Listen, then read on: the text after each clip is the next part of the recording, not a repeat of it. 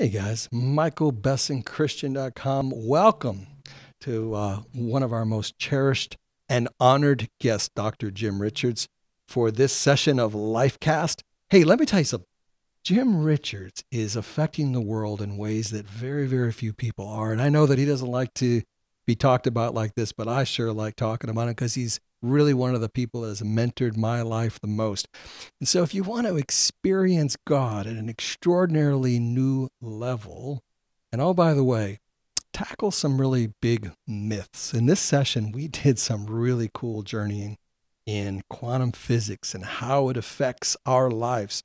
The words that we speak literally become life themselves, and also some Christian myths. I mean, hmm, is God really in charge?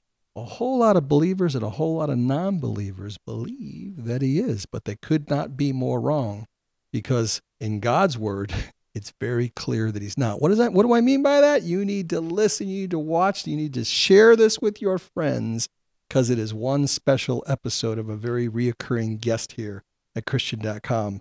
So without further ado, join me in this special Lifecast session with Dr. Jim Richards.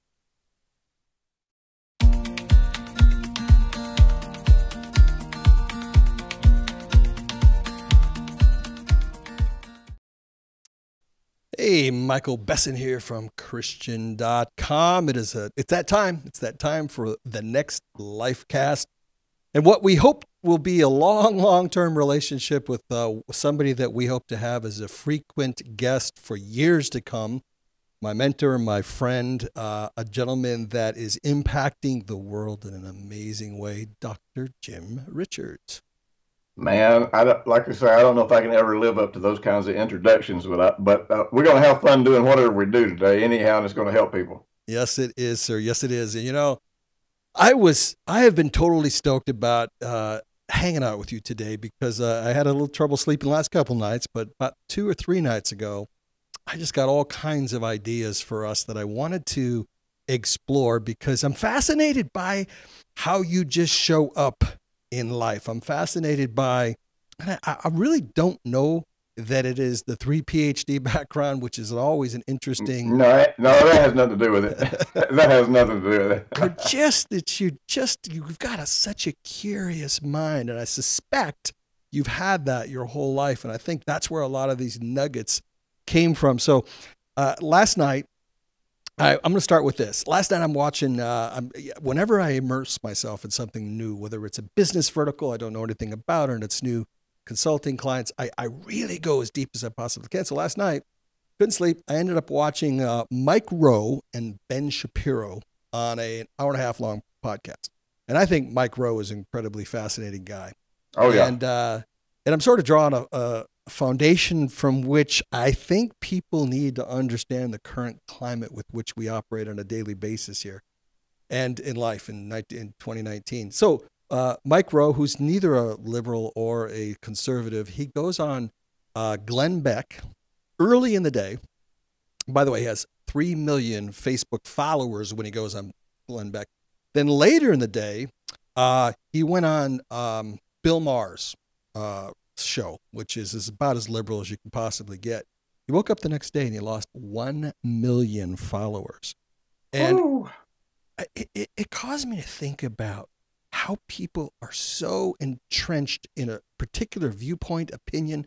Nobody wants to discuss anything anymore. And the conversation went on to say, you know, three years ago, four years ago, they could go to campuses and there was pushback. Remember, these are not two conservatives. These are broad spectrum guys, one of them anyway and uh, and now it's just like they have to have guards, they have to have protection, they have to have security, they gotta they gotta uh, go in a couple hours before and do bomb sweep. It's nuts.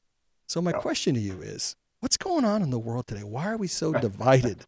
I just like to. By the way, we didn't plan this. I'm just throwing bombs at you. Speaking of bombs, you know, um, one of the interesting biblical prophecies about the times that we live in is basically the polarization mm-hmm. of of the world population. And the, you know the the the polarization is coming about. Uh, if, if you really want to look at it from a from a from a biblical point of view, the polarization is coming about because the ultimate initiative that started literally in heaven when Lucifer attempted to overthrow God and then came to planet Earth to overthrow man has has been one thing. Uh, let's throw off all of these morals, standards, and values that that God says will bring you a good life because the real truth is that's just bondage.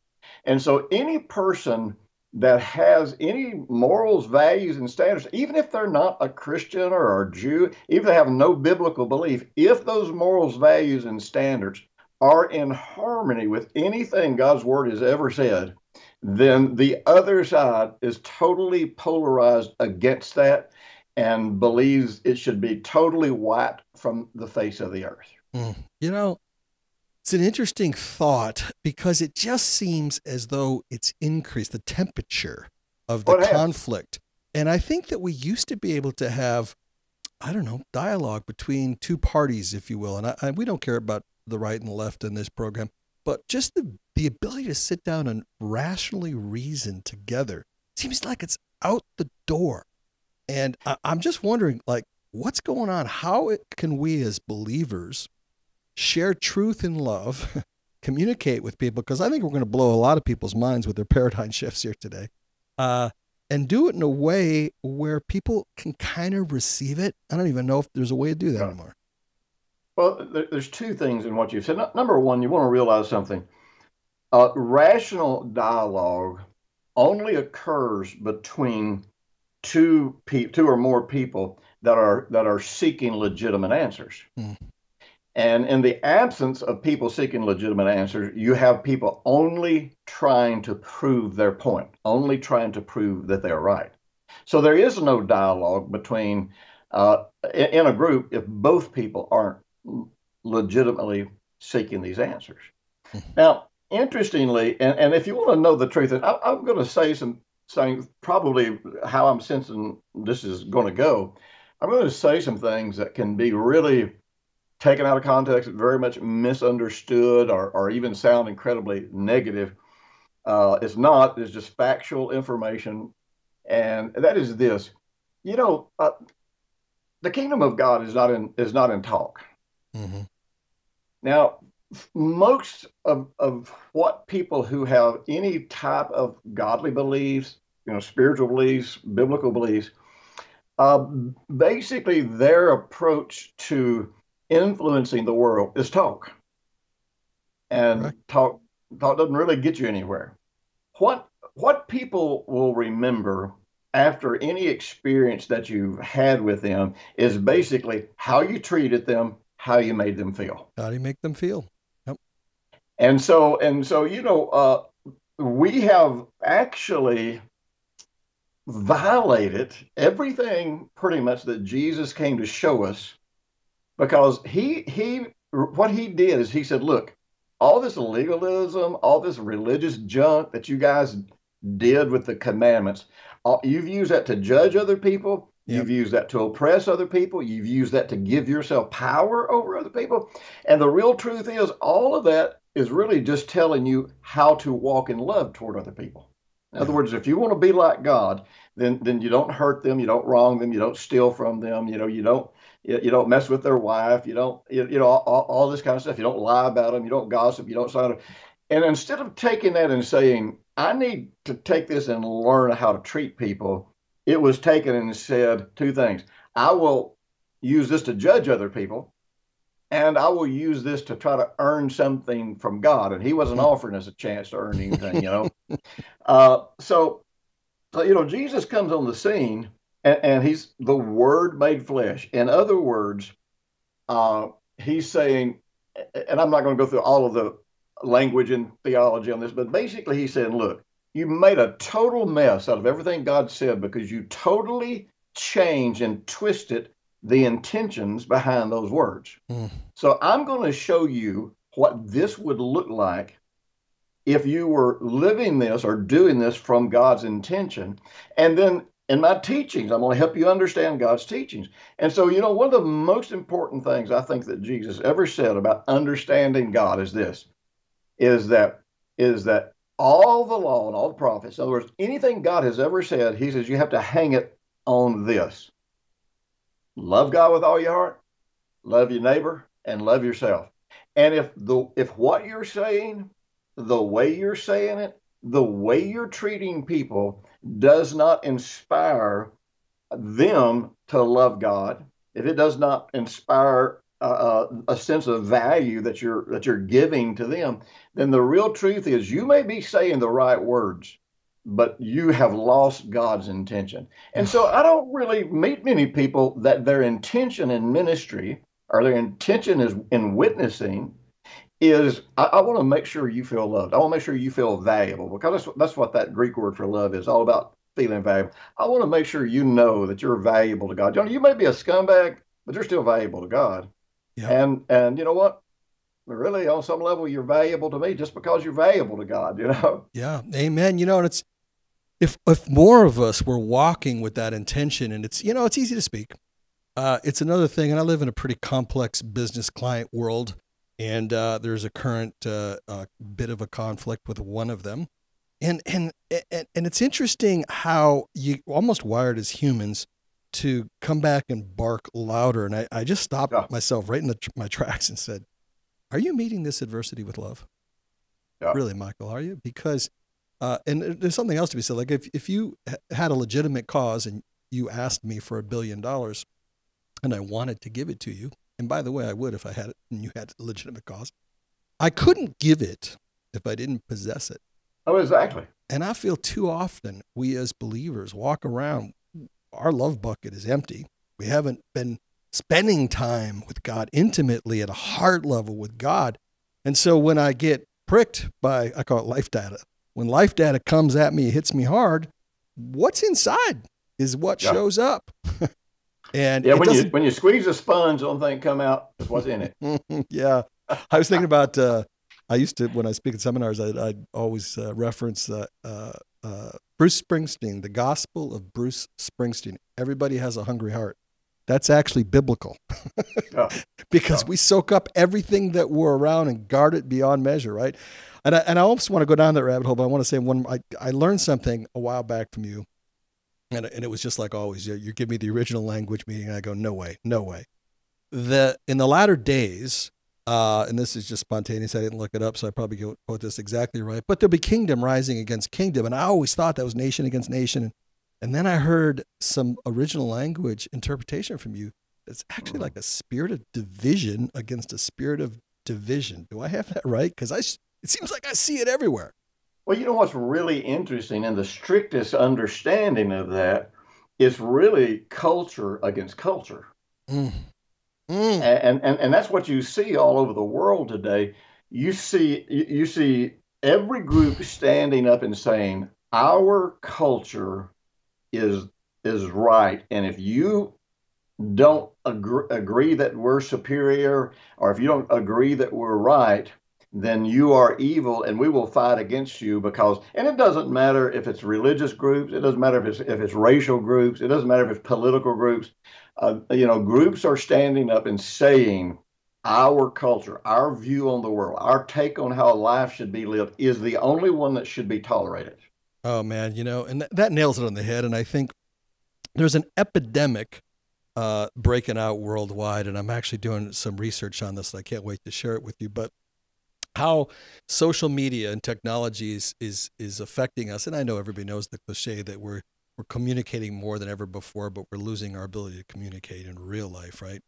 And people are saying things and expressing things, and I'm in this bucket uh, online that they would never uh, say in person. And, and and what the research is showing is after you do this for a year, three, five, six, whatever, how long social media has really been playing a role in society, we're becoming uh, calloused towards oh, yeah. just sharing our opinion and just being hate filled and and now it's manifesting into you know mobs and streets and mm-hmm. you know conflict in neighborhoods with thugs and gangs and and you just look at this and you go man there's a there's a culture difference between and forget about politics it's good and evil at a level oh it is good and evil think I've ever seen before you know but you know, but our problem is kind of in our definition of good and evil.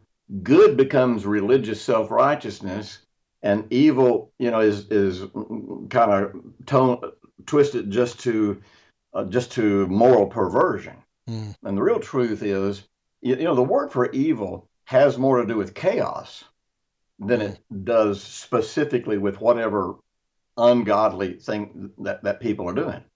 Now, you know, take what Jesus said about love, and, and Israel said, you know, the most important commandment was love the Lord God with all your heart also all your mind, you know, because the Lord our God is one God. So you start looking at the, the true emphasis that God had placed on love, and you start realizing then that that you know one of the prophecies uh, of the end time, the way you identify it, is because of the absence of love, people's hearts grow cold. Mm. And so, if love is value, and a person is saying, I, I, I have no value for you unless you agree with me. I have no value for you unless you make me feel safe in my political position and my cultural position or, or, or whatever. So, so what we really have and what is happening is just there is a uh, uh, there is people are starving to death in the absence of love and mm. see the bible says love has good manners so you know it is not good manners to to bash on people. It is not good manners to pass judgments about people. It is not good manners to be rude and do these things that people are doing online. So really, all that's really happening is that is that people's hearts are growing cold because uh, there's a love epidemic.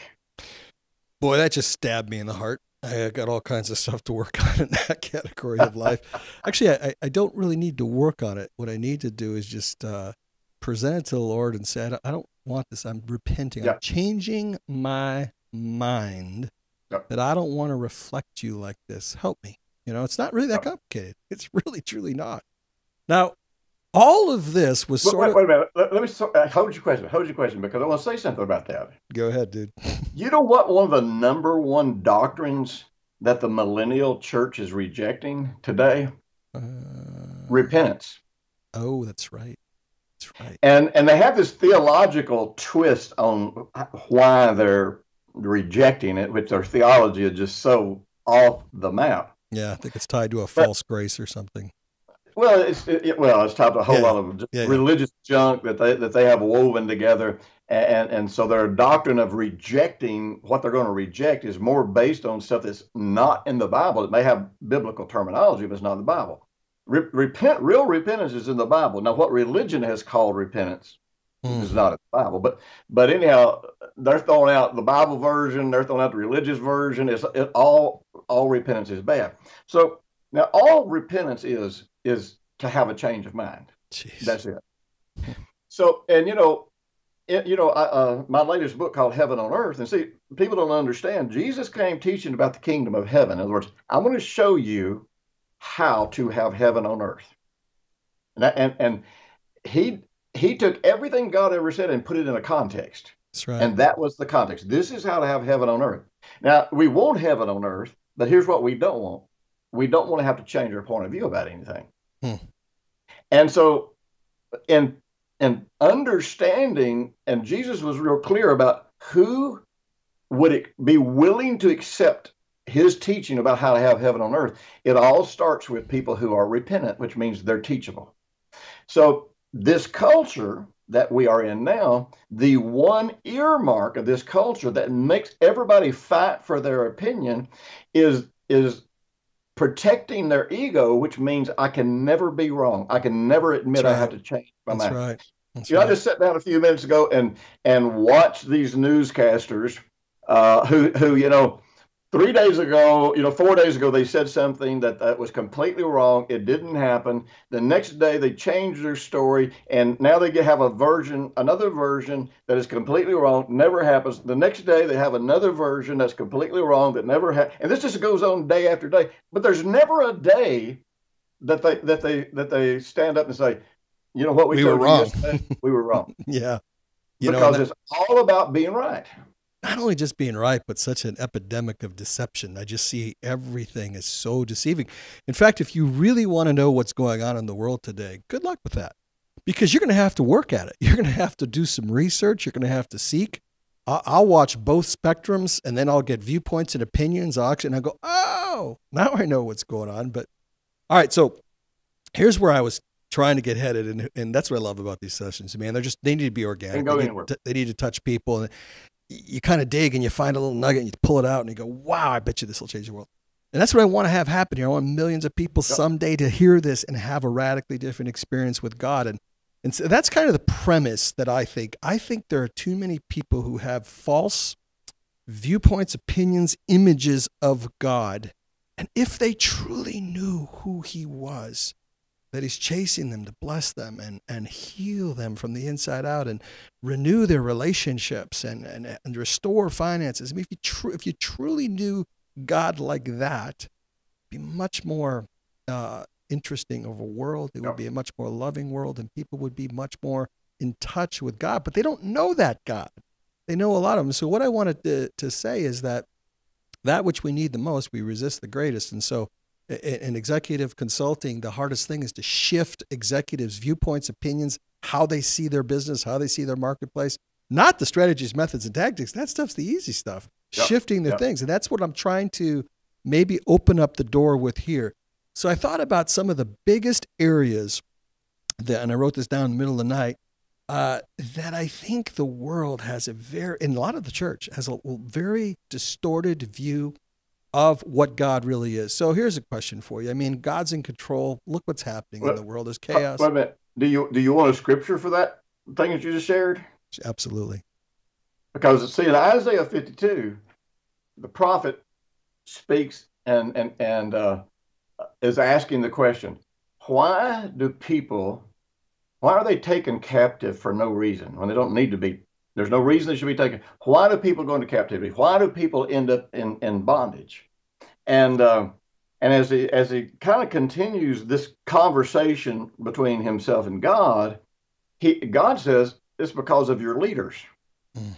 And he says, and he said, because of your leaders, my name is blasphemed 24 hours a day because I he this scripture doesn't say this, but basically he said, I get blamed for every bad thing that's happening.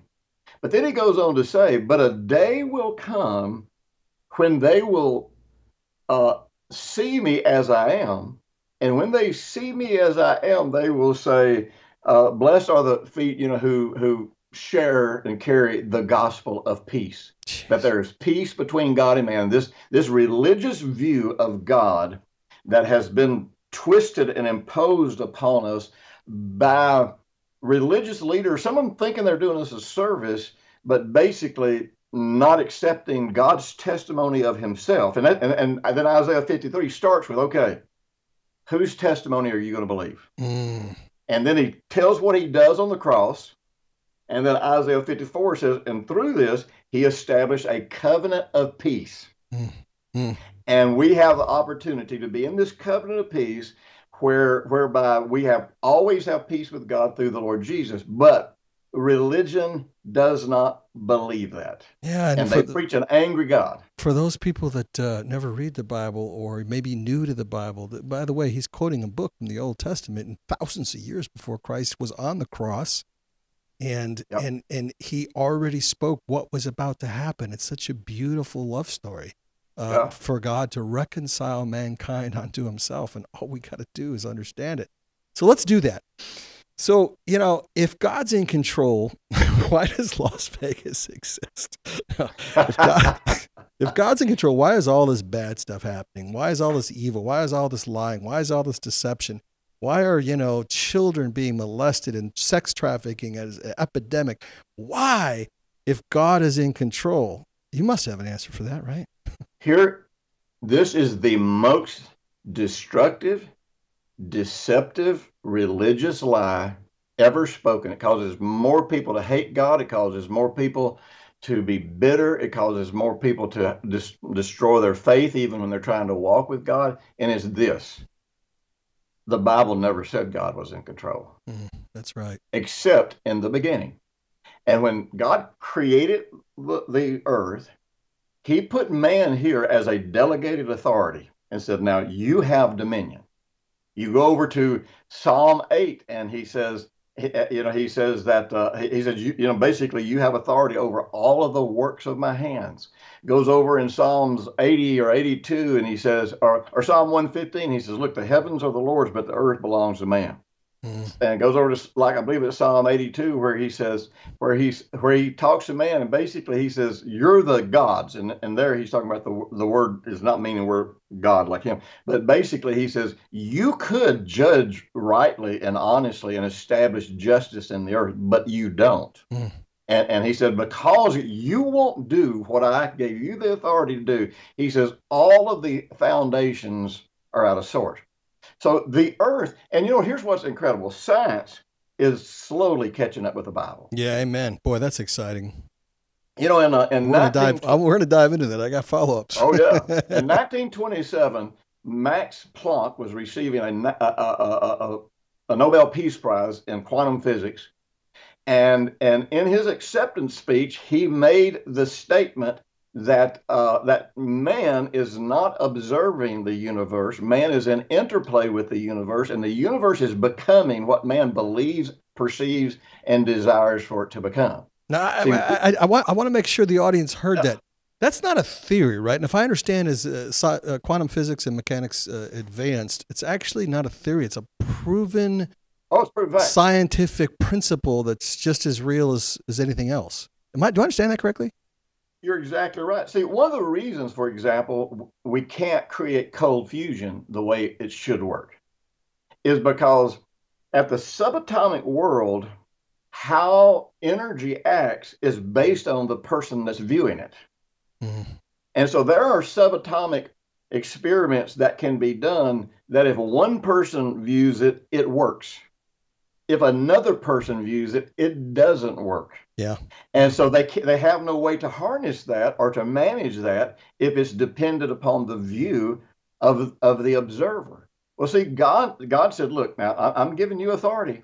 And so yep. basically, he he said, "Now I'm going to teach you, and I'm going to give you all the wisdom that you're going to need to do this. But it's, it is always going to be your choice because." If I'm creating you in my likeness and image, I can never impose my will upon you. That's right. And if I'm a God of love, I can't oppress you by forcing you to do what you don't want to do. So hmm. man has been given freedom and he's been given instruction, but by and large, he has chosen to not rule the world based on God's morals, values, and ethics. Man. And when you look around the world and you look at the manifestation of the way people think, and I've traveled all, I've been blessed to travel all over the world. I know you, you've even more than me, probably.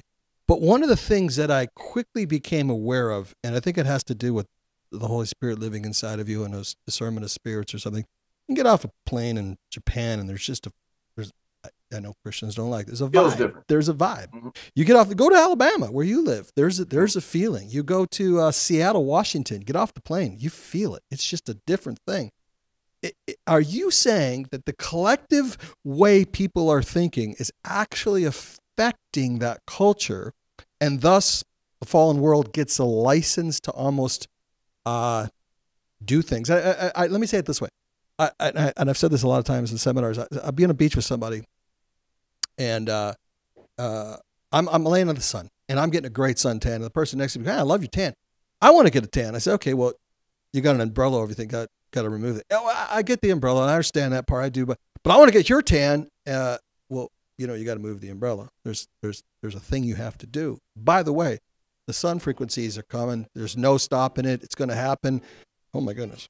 Uh, I thought this was on Do Not Disturb. I'm trying to do my notes and it comes off.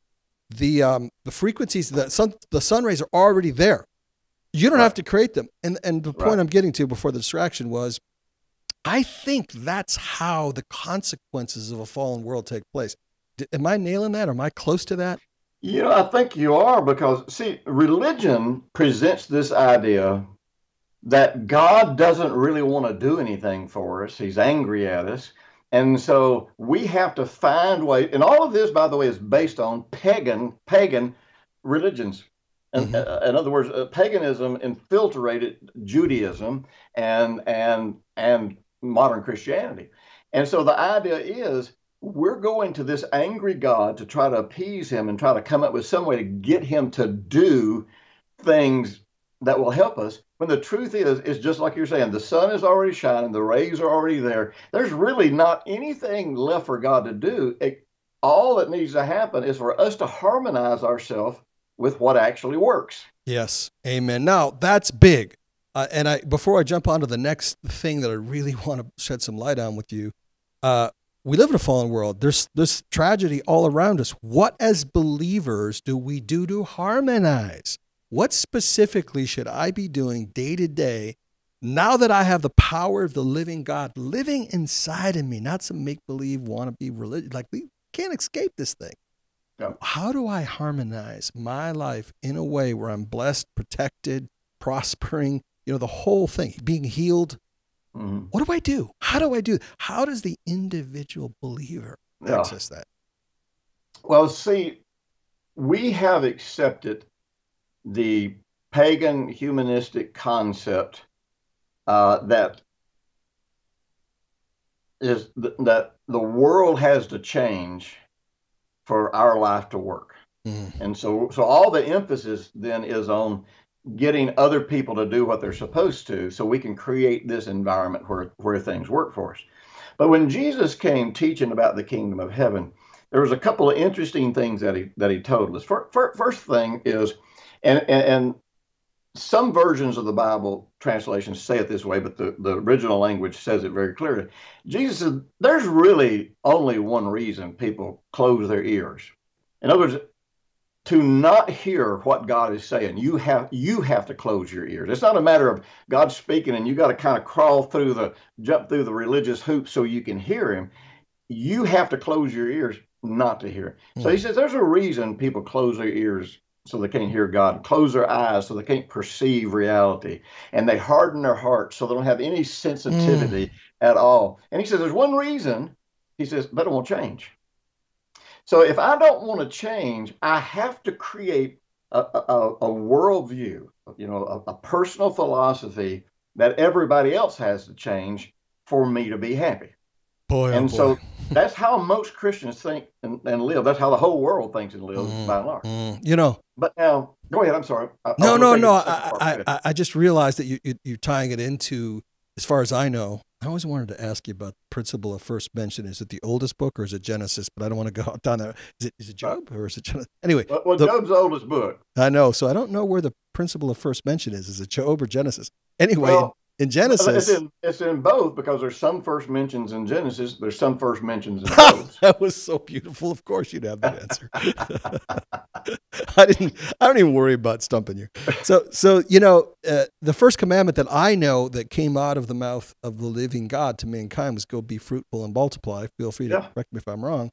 And in the Hebrew, that's only one letter off. But essentially, what I kind of got of it, because I'm I, I tend to simplify things if I'm not flexible, adaptable, and teachable, I will plateau in any area where I'm out to be. I'm supposed yep. to be fruitful and multiple. So why don't you just kind of give us an overlay of that? Because it sounds like I, I can only go as far in the kingdom of God. The the the um the realm with which I now have access to uh, have a very different life in this world. That's the kingdom of God. It's accessing a, a heavenly realm that I can do right here, right now. It's not yep. a place I go to. And without I can anybody only else changing without anybody else changing, and I can only go as far as I'm as I'm flexible, adaptable, and teachable because of this yep. commandment to be fruitful and multiply. Help me understand that.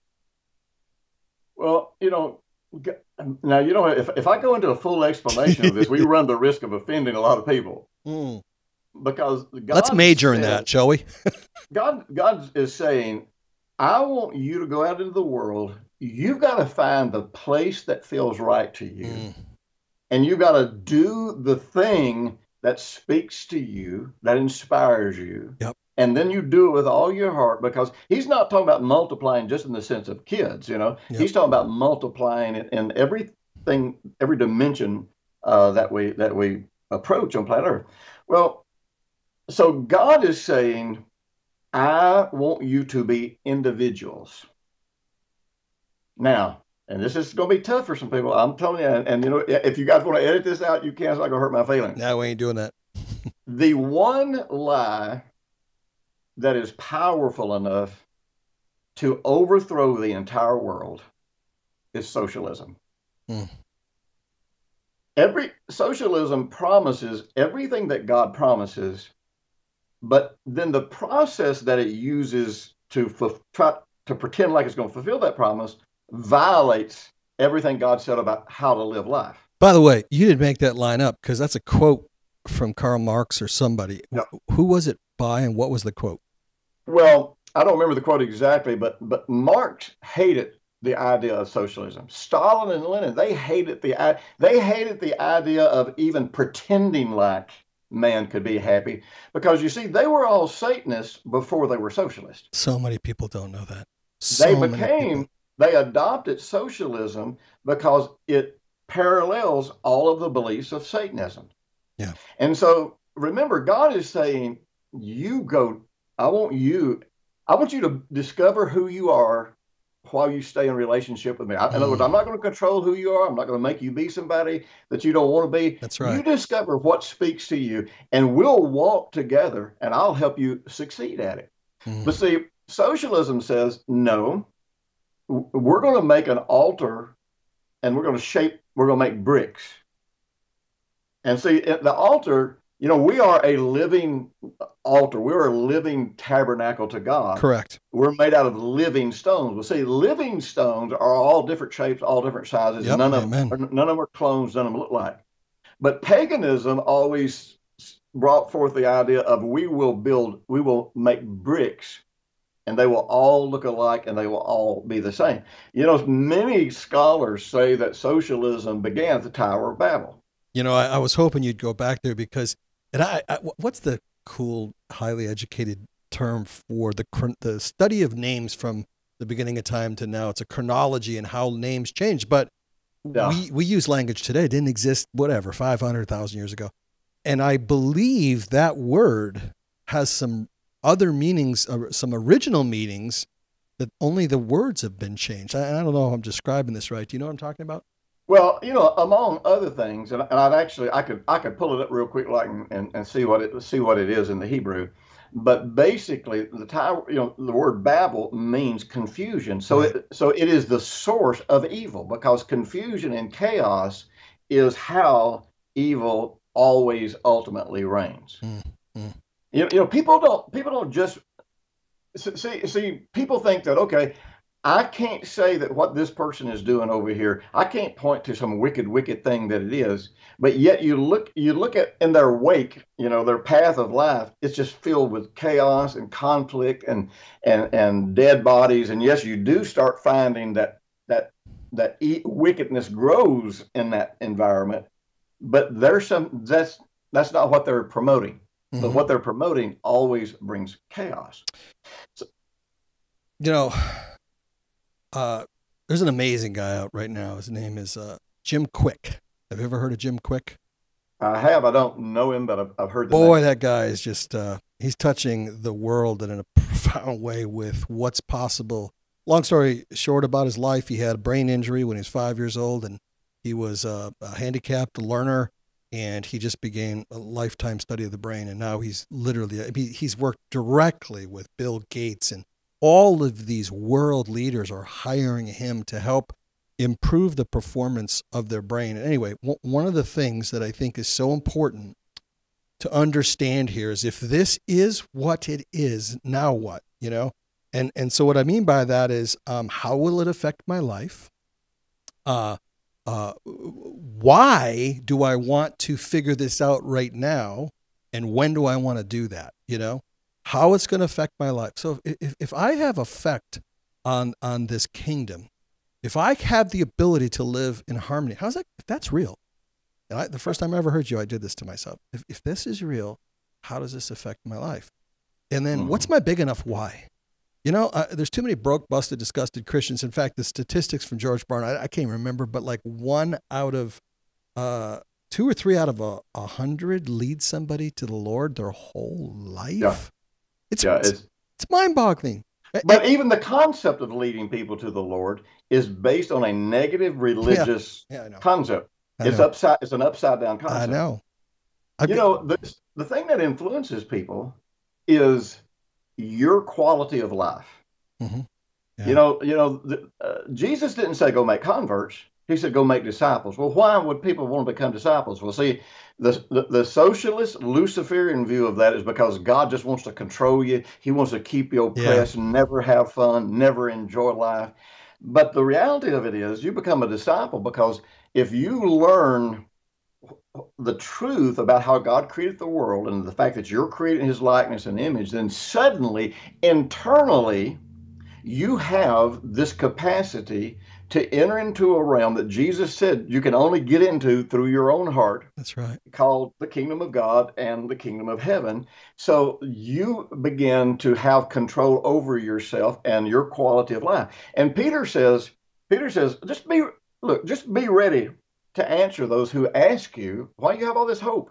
Mm-hmm. And you know, my thing is, if if people never ask you what's different about you, then there ain't nothing different about you. Yeah, amen, amen. And and even to the degree that well, this is where my journey has been kind of interesting, at least from my own perspective. Uh, the difference between where I was last year, two years ago, three years ago, those that are around me are noticing it, and I go, you know what? It's okay. I'm not Billy Graham. I probably never will have any right. kind of impact but they're seeing the progression. They're yep. seeing me walk out a deeper intimacy with God. It's coming out of my pores. And I, and I, I think that's what's missing a lot. So I think in real practical terms, I want to ask you, what can a person do every single day? If this is true now, you know, so what now what? That's the line we like you know, use in seminars. Here's how complicated my life is. this is it. Everything I do revolves around what I'm about to tell you. You know, when I wake up in the morning, I ha- I make two choices. Today, I'm gonna I'm gonna follow the Lord my heart as much as I know how. That's, that's choice number one. Choice number two, and today, as as you know, as much as I have the capacity to trust God, yield to God, I'm gonna walk in love. Mm-hmm. That's it. That's my whole agenda. That's my whole mission. But but you know the result of that you know, Brenda, you know, I'm almost 70, and, and Brenda and I have been married for right at 40 years. We're still deeply, passionately in love. We still enjoy, you know, a, a life, and we enjoy each other. You know, no matter what life is doing, we, we enjoy yeah. each other. Yeah. And, pe- you know, people still want to come to our house just to be here and experience what that looks like and what that feels like. So, you know, if I'm committed to if I if I'm just com- if I'm committed to walking in love, and I'm talking about God's kind of love, I'm not talking about just yeah, yeah, absolutely. Kind of but if I'm committed to walking in love, then this means every relationship that I have is pretty incredible mm-hmm. because I'm treating those people the way as much as I understand it and much as I am willing to, except for the days that I've decided to be a jerk, you know. Uh, you know, we all have those moments where we just decide to be a jerk. We think it's going to get us what we want. It never does but or if it does, it only lasts for a minute. And so, except for those times, I just decide to be a jerk. You know, you know, uh, uh, there's n- nothing in my life that actually needs to get better. Mm. Nothing. Mm. And so, you know, if you can get up every single day and you're absolutely contented, you've got incredible friendships and relationships. And even when you've got to make business decisions and stuff, you just are able to to to you know sense and follow God's wisdom in those situations, what else do you want? You know, and, and for those of us that are just kind of evolving there in that area, and and I, boy, you just hit me so hard. I'm thinking how few Christians I know are going. You know, it's just beautiful where it is. My life is crazy blessed right now. I'm discovering on this walking out journey. It's only been six and a half years since I uh, really started this heart um, yeah. physics program. By the way, Impact Ministries. Dr. Jim is donating time doesn't ask me to do this. I'm just telling you, you need it. It's an amazing experience. It will change your universe. And and so as I began to do that, I, I, I saw less and less toxic people in yeah. my life. However, they still show up periodically, but nowhere near as frequently, nowhere near as dramatic, nowhere. In fact, I think I told you this about a year ago when we were talking on the phone. One day I just woke up and went, wow, there's no crazy people in my life. I spoke too soon because there's one now. But so, what do you do when those toxic people do show up? Because it's got to happen to you too. You know, here, here's the amazing thing. Uh, you know, I, I, I, let me let me put this into another context. You know, I, don't do personal counseling anymore. I, do sure. personal ministry to people who are influencers. Mm-hmm. either pastors or business leaders sure. or that sort of thing because the world. because I want to help people that have a multiplication effect, and I can only have so many hours in a day. But you know, when, when people used to come to me for, for marriage counseling, and I would talk to them, uh, the basically my, my thing with marriage counseling would always be this: number one, marriage counseling doesn't work. So you know, I, so you're not going to really get marriage counseling when you're here. You just thought you were. Uh, number two, um, uh, I'm going to I'm going to show you how to decide who you want to be. And you got to decide that. But, but nothing else in life works until you have decided. That's right. Until you know who you are.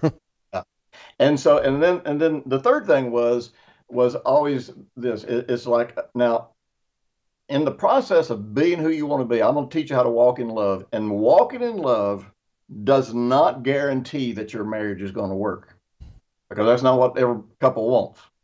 But here's what walking in love will do: it's going to accelerate, and either your marriage is going to get great, really, really quickly, or you're going to get a divorce very quickly. And so I have found that when we walk in love toward people, we are either going to get the chance to help them or they are going to be so repelled by what we do and how we do it. You know, if you're walking in love, you can't be conned. No. You can't be tricked. You, you, don't fall for the scam because because greed is what, what gets you in this scam. And so if you don't have any greed driving you, you, you nobody can really deceive you. And so and so the guy that's there trying to deceive you, he gives up really quickly because he's like, you know, I, I can't. yeah, this guy yeah, yeah. I can't, know? I can't win this guy over. Man, I, I'm kind of I'm thankful when some of those crazy people show up because because if they get to see something that's real and genuine so many times, you know, so many times we end up sitting at my dining room table late, you know, at night when our wives have all gone to bed and they're just saying, How do you do this? How, how does it why does this work for you? Mm, and I mm. get to share Jesus with them, and not just Jesus. You know, I, I mean, I get I get to start them on the discipleship process. That's right. That's right. And you know, I, I don't care for that word because I think all Christianity needs new branding. But that that if it, Yeah. people truly understood, look, this is the way to a blessed life. This is the way to a good life. You taught me. You taught me this about my own teenager. Maybe you should just ask her, hey, just out of curiosity, honey, do you want a good life or do you want a bad life? I just want to know which one you wanted uh, Yep. because because nobody goes and robs a liquor store and says, I'm going to really better my life. I, you know I, I- eh, but actually that's what they do say i screwed that up they say i'm gonna i'm gonna get the money i'm gonna pay my bills they don't say i'm gonna blow my life up right and so i Right. think we all go into situations believing something good is gonna come out of it when there's a total lack of wisdom driving the train right and uh, i do not want to drive i do not want to go down this hole but i know the research on marriage counseling and the truth is, you get divorced more frequently if you go to it than if you don't. I have the white paper on it. It's crazy because Yeah. the, the Gestalt therapy goes back in, reminds you of all the damage, and you relive it. well, it grows in your heart. actually, all counseling that is based on reviewing the problems Yeah. actually makes people worse. I know. You know, uh, when I, when I, you know, I've had, I'm a certified substance abuse counselor. I'm a certified detox specialist. Uh, you know, uh, I, I have, uh, you know, a doctor's degree in alternative medicine. Um, I had a clinic for years. I worked on the, I worked on the floor of Lincoln Hospital in New York, in New York, and and, and the South Bronx. Uh, and so, so I've been, and and plus, you know, that's my background. I was a druggie, man. I'm, I, I was whack crazy, you know. yeah, we're both and, uh, and so you know uh, that's the people I understand how to help and and and and, and work with so very very much, and and uh, now uh, where were we going when we jumped off this? My, Well- my, my phone distracted me. Something happened there. no, I know the So- same thing happened to me. Where we're going was traditional therapy doesn't work for a lot of reasons, oh, and yeah. you got a heck of a lot of background to testify to that. Aside from my white paper, So, so uh, when people would come in for counseling, uh, you know, I had about five rules, and I had an incredibly high success rate. Whether it was substance abuse, whether it was immorality, didn't matter what it was, had a really high success rate. It wasn't necessarily because I was that good of a counselor. It was just because I managed to figure out from a biblical perspective how man is wired, therefore what actually works with him. But Mhm. one of the things I would do when people would come in, I say, okay, here's what we're going to do. I'm going to give you 15 minutes to tell me what the problem is, and we ain't never talking about it again. Yep, yep, yep. Everything from here, every the first 15 minutes, everything from here is going to be how to put your life together. And we're not we're not going to relive, rethink, you know, all this kind of stuff. But like I said, the studies show that the majority of people who get that type of therapy, where they're always going back and review it, actually get worse. Yeah, amen. Uh, just to highlight something, uh, how many books do you have? How, how, many books have you authored? Do you even know? Well, I've got I've got about twenty something that are are published in print, and I've got actually about eighty written that that I'll be releasing for the next few years while I'm alive, and that that will continue to be released for about twenty years after I, after I'm gone. You know, if you weren't such a slacker, the world could really hear a lot more about what you got going on. But well, the hard part is not writing books. The hard part is getting them into people's hands, getting getting them into the hands of people that really won't help. So here's what I wanted to ask you, because I don't want to go any further down this way.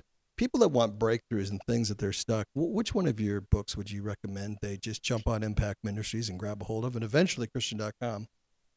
You know, um,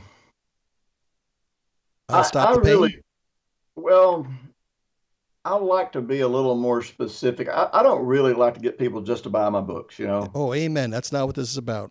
Yeah. Uh, you know, if, if, a person is dealing with a lot of emotional uh, pain from past hurtful experiences, yes, How to Stop the Pain is a great place to start.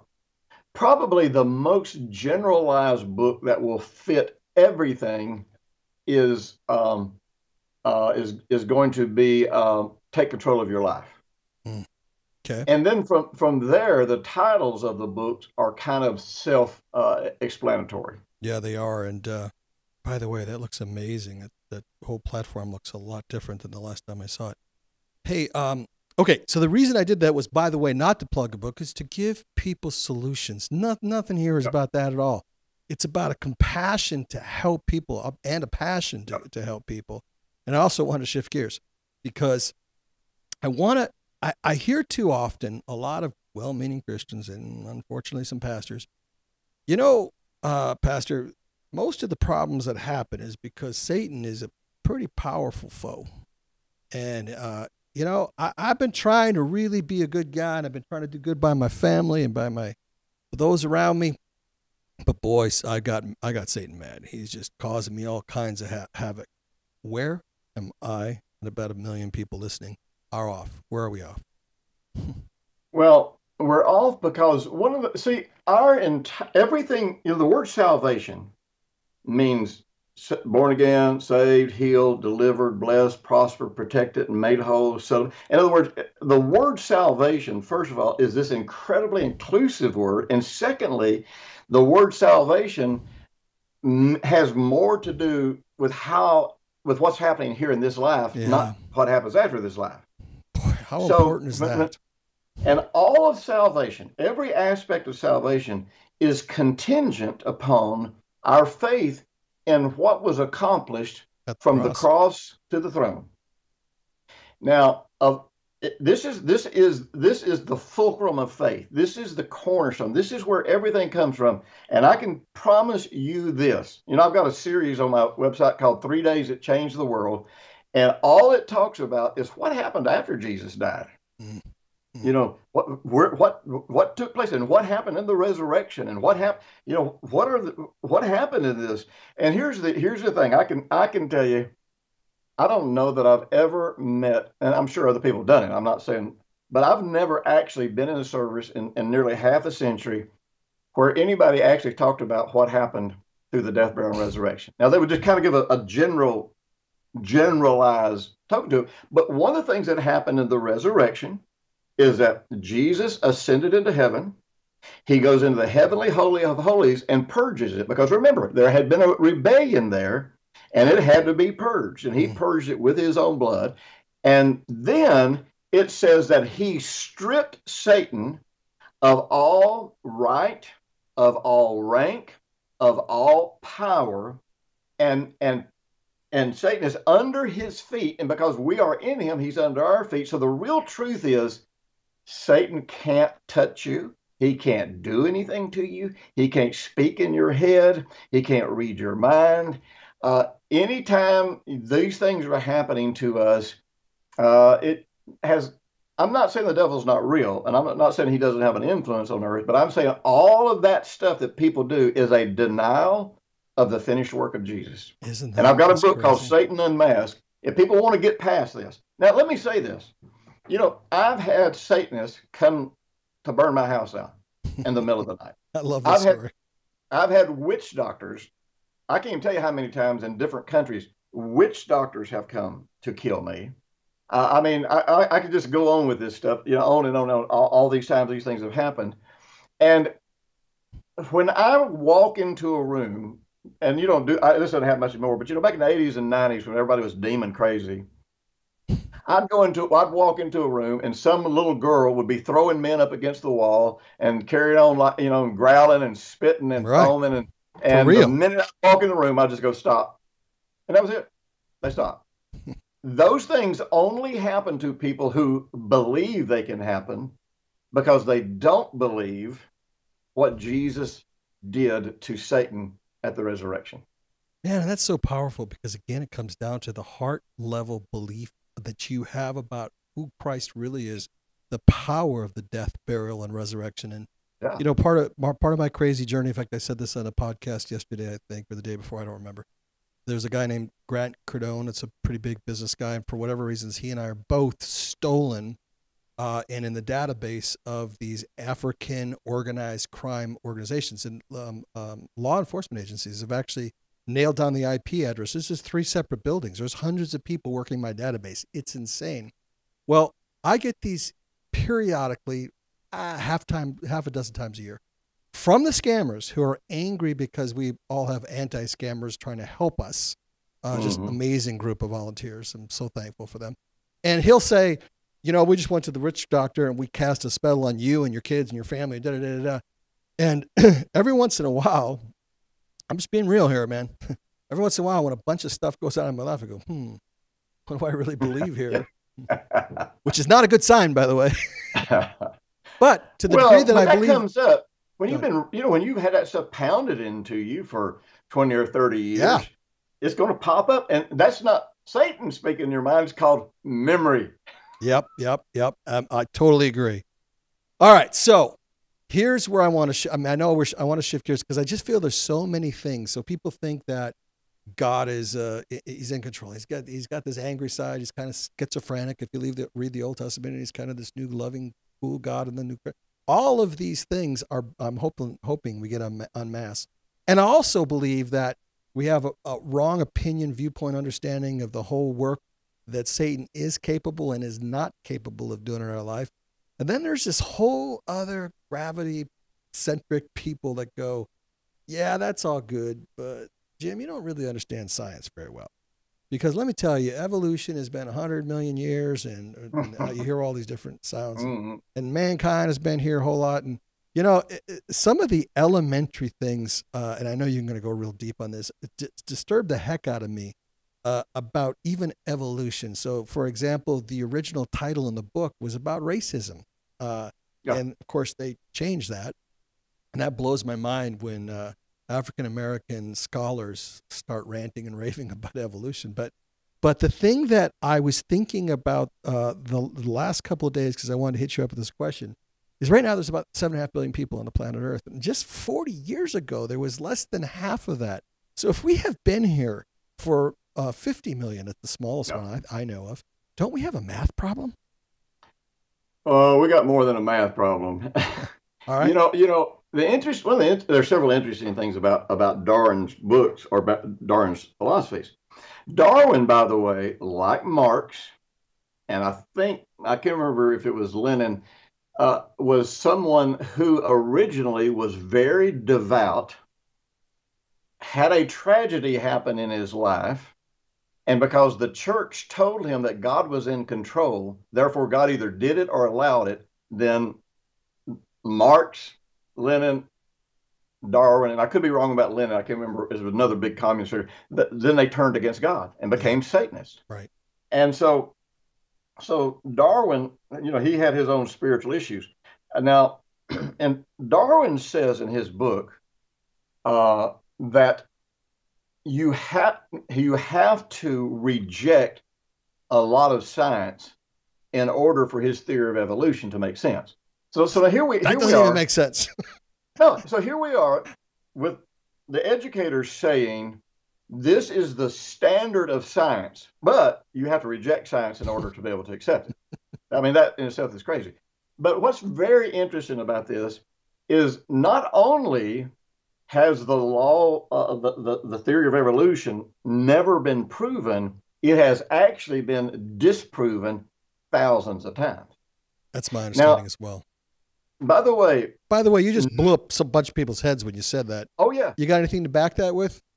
Uh, well, Darwin's writings for one thing. you know, in my book Apocalypse, I talk about and, and the the documented cases where um, where what is now the Smithsonian had thousands of fossils that they found and, and that disproved evolution and they hid them they cover they, they they actually stayed hidden for 70 or 80 years uh, before they were found. But but you have to realize governments cannot dominate populations unless those populations are codependent and needy. Okay. Therefore uh, darwinism uh, makes it impossible for man to have the dignity and worth that comes from knowing I am created in the likeness and the image of God. And so you have to realize the governments of the world deliberately, vehemently work to make sure that the true science is never revealed, even though it's all been proven. And you know, it's it's crazy because when people start talking like this, and especially when they're highly educated like you, we there is a default mechanism within culture. And it just basically says this is a conspiracy, which is a great way to dismiss fact when it's actually. Yeah. And I, I don't deny there are weird stuff like the earth's not flat. I promise you. I just absolutely can guarantee it. I know pilots, I know snipers that have to adjust the scope. It's yeah. not flat. And yet there are people believe this is not what we're talking about, man. It's not even remotely what we're talking about. So let so and I've been wanting to ask I love that we didn't even talk about this before. It if the if if God says that mankind six thousand years and change, I think you can correct mm-hmm. me. And wait a minute, back up. The archaeological finds that they date actual human bones 50 million, 20 million, 100 million years. How can they be so far off? What's well? What, what are we? Missing? There's several factors that come to play. Number one, there is the factor that these tests they have no way to prove that their tests are even correct. And you know, we have had scientists come to us with fossils that they said, you know, were were uh, millions of years old, and they found out, you know, that kids had burned them with cigarettes and hit them, and and it was the whole thing, you know, was a prank. I've seen that. And and and so you know, the test the test can't be proven to be. How can you? What do you use? To, you know, I do I do testing here all the time, like just testing simple pH with my pH meter. I have to regularly, you know, take a, a, a, something that I know is a certain pH, put it in, and calibrate the meter to make sure that it's testing properly. So, how do you calibrate something to prove that you're proving that something is 20 million years old? Well, yeah. you can't. Yeah. But that's not even the big. That's not the big news. Here's the big news. See, remember, like I said, quantum science is slowly catching up with the Bible. You know, on the library in the library at MIT is the mathematical equation that proves not only is the earth the age that God says it is, but that creation happened in six actual 24 hour days and happened in the exact sequence that the Bible records it. So you know if the if the greatest mathematician minds on planet Earth have proven this, you would think somebody would be paying attention. You'd think. Now, uh, can you? I, have heard you elaborate on that a little bit more. I don't know if I'm putting you on the spot here because you need to read some data or something, not, and that's okay. Uh, I give the thumbnail sketch. Yeah, yeah. The, explain to the audience exactly what you just said because it's mind-boggling. It is mind-boggling. You know, uh, we see space and time are linked. They're intimately linked. So, with quantum science, we came to realize that the universe is constantly expanding, and they did this. And I, you know, I won't get these details right by by uh, understanding dark matter mm-hmm. and and how and how that relates to the expansion of, of all things. So if the universe is changing in size, then that means that time is actually changing too. We just don't perceive it. Correct. So here, here is the way that, in my limited scientific thinking and understanding, that, that I can explain this and grasp it. If you were standing there on the day that man was created, and you were looking forward because of where time and space was, if you were looking forward from there till now, it would be almost 6,000 years because the universe was at a certain size, therefore, time had a certain dimension. Okay. Got it. It's easy. But if you come down here to where we are now and look back, changes. It changes because s- space has expanded, therefore time has changed. Mm-hmm.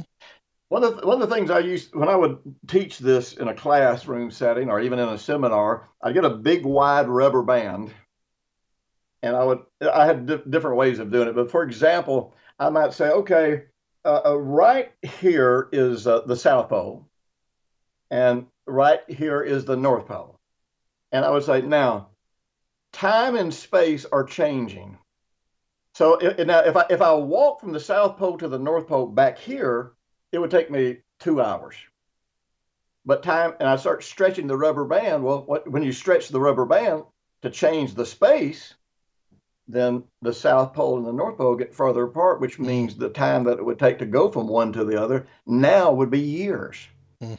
So, with the expansion of the universe comes the expansion of time, which means time is not a fixed is not a fixed factor, and no matter where you're standing in creation, time is understood or measured by whether you're looking back or whether you're looking forward. And how in the does world that make sense? Yeah, totally. Well, you know, I can grasp it, and and and what even makes me wonder more is how do you measure that with any kind of technology which they you know believe wholeheartedly is real. Can you put up the populations of the Earth when you get a chance? Um, uh, what, what is the major uh, measuring uh, mechanical mechanism that does that? Uh, at Jim Richards' uh, site. I'm I'm I'm I'm blank right now. Yeah, I I, I, um, I want to say radon, but it's not that. But I I've read, I really spent a lot of time with that years ago, and basically I walked away with a conclusion that it is there's no scientific factual uh, no. uh, data that says this is absolute truth, and yet there's a bunch it, of people speculating that it is. And, and by the be, way, so let me ask you that: is is there a difference between mankind being six thousand years old, and everything that you currently understand about God, the universe, and is it possible the planet is, planet is older? Well, no, from a biblical exact, perspective. From a biblical and scientific perspective, we know that the Earth. See, see the Big Bang theory. Even though they didn't understand it, they were actually talking the Bible, because right. God has had to start everything, you know, from this finite point, and and it started expanding. And so the Big Bang theory really explains what happened. So planet Earth not only planet Earth, but all our, you know, our universe, our galaxy, all of the other galaxies and universes, all had to come into being because, you know, there are trillions of interactions, cellular interactions that take place in your body every minute. It's amazing.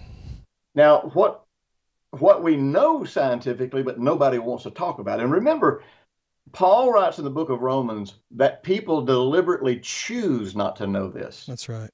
Romans 120 and Romans 121, uh, where he's talking about creation. And, and he talks very specifically about the truth about creation is something that people choose to be ignorant of. Um, so, uh, creation is is the first pillar of faith. People who do not believe God's account of creation and God's account of creating man will never have stable faith. You know, I've heard no, you say that a number of times. Never. And I've actually wrestled with why that's such a big thing and not really uh, followed it up in our one on one time together. Yeah. And, and all I could come up with is if I'm not going to believe that, what else do I get to pick and choose? I mean, is it a smorgasbord Bible where I, I kind of believe that I don't quite believe it, or I think you got some more. I think you have something more to that. Oh yeah, there, there's there's there's a, a lot more to it, but you're right. That's the first thing. If the very first thing I discover about God is a myth, what else? How can I believe anything else? Yeah. yeah. But you see, God, and this, if we're created the likeness and image of God, then we function like God. Mm, right, right. God modeled in creation how to work faith. Yeah. Now Jesus in Mark 11 the way he explains it there is exactly the process that God follows. God conceives something in his heart. Oh. And see the word where it says, and God said, let there be that word for said is not does not emphasize the spoken word. We've been taught that, but it doesn't. It emphasized that that word came from what number one had first been conceived in his heart. Mm-hmm. So he conceived all, all of, this, this, in his heart. All of us, this universe, everything. All of us. Now, you talk about the proactive, preemptive love of God, and help me remember. Where, help me remember where I am because I want to yeah. kind of go back to what I was saying. Now, see, these trillions of cellular interactions that take place are determined or influenced by the distance of each of our planets in our solar system, mm. by the stardust, which is basically carbon that sweeps across our planet Earth, you know, through our through our solar system. Uh, the speed that the Earth spins, the magnetic flux of the Earth. In other words, see, here, here's another thing the socialists want you to believe. There's nothing unique about the planet Earth. We are going to, we're, we're going to spend trillions of dollars to prove there's nothing unique about planet Earth because if we can find anything that we can pretend like is life somewhere else, and that does away with the whole God creation theory. How many mathematical equations have to go on to make this all happen? See, God had to, God had to know all those equations. Absolutely. But what, what's interesting, He had to first create not just an Earth, not just a solar system, not just a galaxy, not just universes after you. He had to create all of this in a way that created a unique environment that supported all of these tra- all of these interactions for us to live and think. You know i mean everything even lightning. You know you know when it lightnings? One of the things that that's doing is that's balancing the frequency uh, uh, on, on, between planet earth and stratosphere so that man can have normal thoughts and, and not not everybody be crazy and running wild because it it, it, it, it actually balances back to the brainwave frequency that's the most healthy. I mean, you, I just oh. go, there's just hundreds of calculations like that. So God was showing His love and His desire for life to be incredible. For oh. every eh, see, we were created to live in paradise. We weren't we we weren't even given the capacity to deal with pain. God never wanted us to deal with pain. And you got people saying, "Oh, God, see, He did this to you to teach yeah, you." No, something. He didn't. You know? No, no, He didn't. You know, stupid might have might have did something to you to teach you something, but, uh, but God all of it almost. Yeah, you know, and it's interesting because in the book of Deut- Deuteronomy, it actually says that if if you have the capacity to do something and save somebody from something and you don't, you're as guilty as the person doing it to them. That's right. violating of who God really is. But I want I want to get back to God, this. The devil. Yeah, that was good. Uh, you know, wait a minute, wait a minute, wait a minute. See, you know what the number one draw? Well, I don't know if it's still the number one draw. The number one thing that draws Christians away from God and to Satanism. No, is that God is in control, mm-hmm. and and so the the foundational doctrinal position that all Satanism flows from is: look, God is in control. And so, since the world is so messed up, that is the proof that he's not a good God. And and they look at it and go, okay, well, if he's in control, there's no way he can be a good God. Yeah, you Convert. know, I, I, I, speaking of Bill Maher earlier in the show, uh, Bill Maher did this uh, documentary called Re- Religiosity. I don't know if you ever saw it. And uh, I, I just stumbled onto your work about the time that came out. And he would go out and he would interview all these experts and all these different people who were just caught up in religion, just really, really bad. And he would go, you know, well, if God's real, why are all these bad things happening? And they would give, it kind of reminded me that uh, your, your car is leaking oil and, you know, you come to me, who, by the way, can't do anything in a car. They go, I don't know, I think you need a new engine. It looks to right. me like you need a new engine because that's how good I am at this. That's what it sounded like. And and I all I could think of is I wonder who my Hollywood contacts are. We got to do a second documentary, and I got to get Jim Richards on this because because there's an answer for all these things that people are tripping over, just yeah. tripping over and lost, and and and even asking me, and I get a lot of messages from people to pray for me because I'm going through this and that, and I almost want to say it doesn't work that way. I'll do it. it doesn't, right. doesn't really work that way. Here's your responsibility. Here's what I'll come in agreement with you. Sounds like you lack wisdom. Let's pour into James 1. Lean on God for, with wisdom and don't waver mm-hmm. and watch what he does because this is all up to you to, to navigate yeah. through this, right? So, so man, oh man, I, I, I don't even know where to go next because I'm sitting here. Uh, by the way, I do want I do know where I want to go. When God spoke the universe yeah. into yeah, I want to get back to that. Yeah, yeah, He encoded every atom and molecule with his wisdom, which we now have oh. access to. So, can you explain to the audience how, uh, when we talk about all things are possible with God, it ain't what we think. It's at the, and I know Christians freak out over this.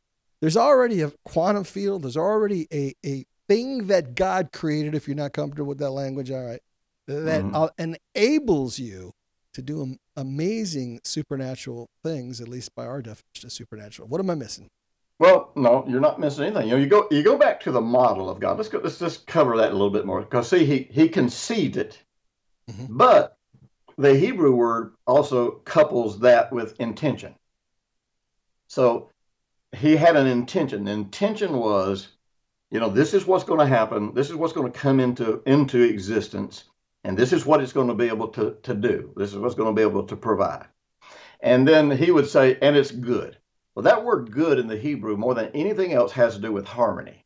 Mm. And, and, and based on the Hebrew letters in it, it means that it was in harmony with, uh, with God's intentions. It was in, in harmony with the heart of God. But what's interesting, that Hebrew word also reveals it's in harmony with man. Mm. Mm.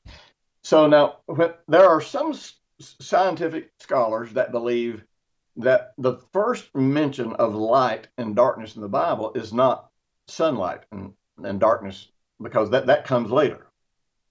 It, uh, light oh, and darkness very possibly points to the fact that God established the polarities. Mm. Because you nothing can exist in a physical world without polarities. Yeah, it's a physics 101 principle so so God creates the field. I like what I like to call it. He, he creates the field where the polarities are. And see, in that field, he had to put into that field all of the things, the subatomic things that would mass together energetically to bring about physical things. Mm. So so he, he creates the field with the polarities and with all of the energies that it would take to create things. And some of those energies came from him supernaturally. Some of those energies came from all of this interaction between our planets in our solar system, you know, uh, uh, between our solar system and other systems and other galaxies. And so so there was this combination of the uh, of of the the it's all natural. Even what we call supernatural is absolutely. Natural. Because he because he put it here. It's just it's just it's just like the spectrum of light. We just don't see in that spectrum, but it's there, and it's and and God doesn't have to do anything to get to work. So I so you you got the field, and in the field is the potential for everything that God's ever going to create. Oh. Now, in the in the Greek of Hebrew 11, where it says, "Now faith is the substance of things hoped for," that word "substance" is it, it has a very broad and interesting meaning because, I mean, it can mean foundation. I thought it meant substructure. Well, I get to that. Yeah, it can mean foundation. So you got to have something that gives a foundation. But then when you, you know, when you start taking it down to the subatomic world, it becomes a substructure. Now, one of the things that we know is that energy crosses fields where it slows down below the speed of light, and and the, whatever substructure is created, then then energy comes together to to uh, build on that substructure. Jeez. Now, I, I, I like to think about that like blood cells in the body. See, people people think we catch disease. The, the entire germ theory of Pasteur was a complete lie. That's my and understanding. It was he admitted it on his deathbed. He admitted it was a lie. He admitted that he stole it. It was plagiarism from somebody who had not yet finished their research. But see, and every doctor in every hospital would get sick every day if it was an absolute fact. They'd get sick every oh, day. oh, exactly, exactly. So, so the reason it caught on was because it fit the narrative that the drug companies wanted. Absolutely. It, if, if, if germs give you these diseases, then we got to give you something to kill every specific germ for every specific disease. That, that, that's the whole theory behind it. But but the, the real truth is, and I'm going to use very non-medical, very non-scientific terms because I want to make this conceptual. Floating floating through your body are millions of what I call non-committed cells. Okay. And those cells, based on environment, will morph into cancer, yeast, candida, or they will morph into repairing the, the a cell to go into your kidney and and be something healthy. But it's all about environment. That's what Pasteur said on his deathbed. He said the cell. He said the germ is nothing. The environment is everything. So when I think about the and see, remember microcosm, macrocosm. Everything works the same way. Once you figure out how God put it together, you know how everything works. There, there's not a thousand different ways. So the universe is the same way. You've got all of this non committed subatomic energy that when God spoke, the, the faith that he spoke, uh, spoke from, what was in his heart, that was the substructure. Mm. And the energy, the subatomic energy, was drawn to that substructure and came into what he had conceived and intended in his heart. Yep. Now, if we are created in the likeness and image of man, and even the people that believe we're created in the likeness and image of man, they'll say, "Yeah, but we lost our authority when man sinned." Uh, really? Give me a, give me a scripture for that. I'd yeah. really like to say it. We didn't lose our authority. We just became flesh. We became self people seeking self gratification. So the real truth is, Jesus didn't say, "If you speak to this mountain and tell it to move, God will make it move." That's not what he said. Said it. He said, "If you speak to this mountain, it will move." Yep. Yep. Yep. You now, know, I, nobody I, wants to go there. I, I, well, you know what, and I, and I what if I known we're going to go down this. This is the beauty of podcast. I, the way that I want the audience to understand something is that there are dogmatic Christians, uh, lost in a lot of crazy doctrines, and they're dogmatic scientists. Absolutely. Uh, and they have been taught, instructed, gathered an opinion that they're diametrically opposed. And the truth is, all science is is giving language to things that God created to start yeah, with. that's already here. Yeah. there are no contradictions. There's only right. a science who's being deceptive, and there's all kinds of agenda-driven science. And we don't go on that one; that'd be a whole nother show. Uh, and there's all kinds of uh, uh, dogmatic faith-based people believing all science is against the power of the living God. And what they don't realize is God's a God of order. God's Absolutely. the ultimate Hebrew mathematician, mathematician and lawyer. there's yeah. laws. There's math. Absolutely. There's there's an absence of chaos. There's a there's a gravitational pull towards order on everything. And yeah man, isn't this all about this show? Like, how do you harmonize with that, man? How do you just well, start doing it? but see, that's the simplicity of real faith. See, real faith is never trying to make something happen. Real faith is if you believe the truth, then you just harmonize with you harmonize with that truth. You, you that's the way you think. That's the way you see life, mm. and it just works. I don't you you know I could really just not write the kind of books I write, and really I could just write. I could take every year of my life and say, okay, I'm just going to write a book about the phenomenal things that happened last year in my life. and, and, and, most people would just never even believe it. They would just absolutely never believe it. But it's like I said earlier, I don't ever really try to make these good things happen. It's a serendipity principle. You know, you if you walk this particular path, all along this path, you just find all the things that pertain to life. It is just that simple. You know what? You just you just said segued into what I wanted to say and wasn't sure I could remember because I always want to stay present with you. It's always something I want to pick up, and it's I love this relationship.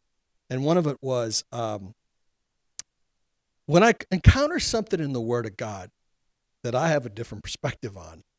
It is my job as a God follower follower to let go of my perspective and take on God's. That is the process of harmony yeah, exactly. You know, and, that's a, that's humility. That's repentance. That's renewing the mind. That's harmony. Yeah, you know, like I, I could use an extra hundred grand right now, and there's a bank down the street, and I could rob that bank if that was my heart's intention.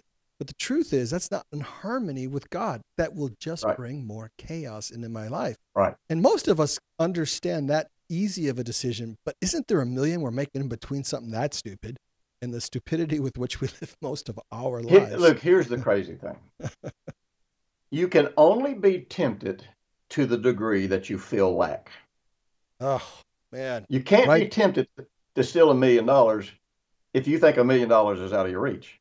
Yeah. You can't be tempted to commit adultery if you think you can't have a wonderful, intimate life with your with your spouse. Oh, so you know, you, powerful. I mean, it's just it's just that simple. And see, that's in the garden, that was the first thing. The whole conversation between the serpent and Eve was that was creating the feeling of lack. Welcome and, to lack. It was, a, it was never a head-on attack. It was never like God's lying to you. It's like, well, you know, if you really were like God, you could do this, you know, and you could do it. And so it's like, oh, oh, I never thought about that. There's something. There's something I, I don't have. There's something. See, God's holding out on me. Man, oh man. And you know, so it, go ahead. Sorry. Uh, well, yeah, but I, I don't want to say this before we get too far off track. So, so here's the thing: more New Agers use biblical faith than Christians do, and the sad thing is because they don't recognize that God created the laws that they're using. Then they say, "This is the proof you don't need God. That you're a God." That's right. That's right. And so they're using God's laws, and it's working and then that, that becomes their proof because the church is over here saying, oh no, if you don't do this formula, if you don't tack the name of Jesus, you know, and, and, and you know, most of the people that I've that have ever gotten healed from me laying hands on them or praying for them, I don't even know if I ever even said the name of Jesus about half the time. I just laid hands on them in my heart. I'm like, God, you're you're you're you know your life, you're here, you're present, and so I just say, okay, now God's in you. Uh, you know, put your heart on Him. You know, Imagine what you'd look like being whole and well and strong and yield it to the life of God and now stand up and walk. And I've seen, yeah, I've seen about a thousand cripples probably. I'm talking about cripples. I'm talking about some of them. Real deal. I know you have. I'm talking about get up off of a off of a stretcher and walk away, or blind people, you know, get their eyes open. And you know, it's, it's no how hard, how loud do you scream, how hard do you work at it. It's just harmonizing with who God is what God has done. And, and, and see, the deal is sealed. Our qualification for all that and the end of all questions comes to through the death, burial, and resurrection. Because see, God did not make the covenant with man. This is something religious people drive me crazy with. Yeah, first not. of all, first of all, they cancel out every covenant. They cancel out the covenant God made with Jesus by every old covenant that has already been superseded. But you know, people talk about, well, you know, I'm in covenant with God. I'm like, no, stupid, you're not. and, and, and, you know, Jesus is. yeah, and it's like because if I am individually in covenant with God, then it is up to me to qualify. It's up to me to stay qualified. It's up to me not to break my end of it. And you know what? I know me. I have a gift. Now, this I can only. There's a Greek word for this. I don't know the English word, but in the Greek it's called screw up and that, that you know that is my gift. If anybody can mess something up, I can figure out how to do it. And I had you know I had a, a I had a lot of years of, of, of doing that. Uh, so uh, I know I would mess it up. But the thing is, Jesus, He is our qualification. Yep. Jesus, He received the inheritance. See, I don't. I'm not trying to get uh, a better position. A better position. No, Jesus has got it. My faith is not about do, do I have enough faith to get this. My faith is did Jesus get this through the resurrection? And so if he did, then even though lost people can use these same laws, the difference is I've got righteousness working in me that drives me to want to be like God, to want to walk in love. I've got I've got a righteousness that's a free gift. I didn't earn it. That that says that says I don't have to be afraid. I don't have to settle. I'm qualified for everything. And see, when you know every, when you know you're qualified for everything, when you know everything is within your reach, you can't feel lack. No, no. And that's the persuasion of the heart journey that you have people all over the world on. Yeah. And I think it's such a powerful, powerful message for the church. You know, I'm thinking about can I really wrap this up in a way that I that my uh, intention signals were headed when we first started, and that is there's just all of these these little pieces of the puzzle. You know, God's not an angry God. There isn't this big demonic Satan ruining our lives. You know, there is an ability to access all of the things that we need through what God already created, both in the creation of the universe and the world, but also in the death, the burial, and the resurrection. If people knew that his heart was totally bent towards love and grace and mercy, instead of all of these religious concepts, wouldn't the world be more inclined to embrace this amazing God? Oh, Absolutely. But, you know, number one, as individuals, we would see God as He is. Therefore, we wouldn't, you know, our faith would work because faith works by love. In other words, you don't trust somebody unless you believe they love you. You're not going to trust somebody that might hurt you. Yeah. So, so if I believe He loves me, man, I'm I'm in faith. You know, I'm trust for anything. And then the world gets to see it work in my life, and then they want it. You know.